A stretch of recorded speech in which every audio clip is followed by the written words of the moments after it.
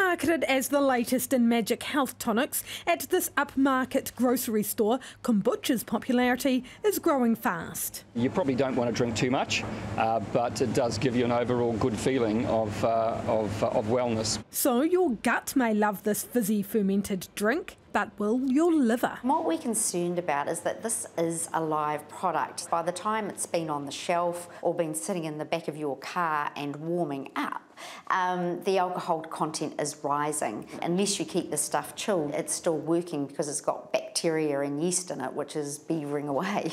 Independent testing done by Consumer New Zealand found some kombucha brands had up to 3% alcohol in them. If you're the designated sober driver, you may be in a bit of trouble. I guess it's around these drinks actually being what they say they are. All fermented beverages contain some level of alcohol, but products that become carbonated have higher levels. The Primary Industries Ministry has had a number of complaints about kombucha, and three products have been recalled based on their alcoholic content. There are rules in place for labelling of alcohol. Anything between 0.5% and 1.15% needs to be um, on the label and that needs to be conveyed to the consumer.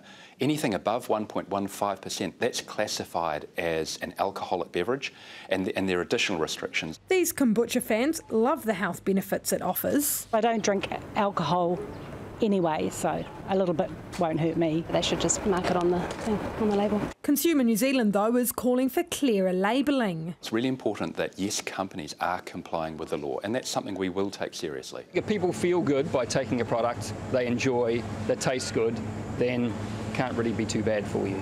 So perhaps it's a bit of a buyer beware when it comes to the kombucha trend. Katie Bradford, One News.